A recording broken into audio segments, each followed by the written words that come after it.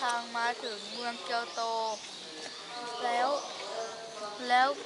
แล้วนี่ก็คือรูปรูปภาพสารเจ้าที่อยู่ในน้ำและมีลักษณะคล้ายกันมาก แต่แต่ไม่ได้อยู่ในน้ำครับ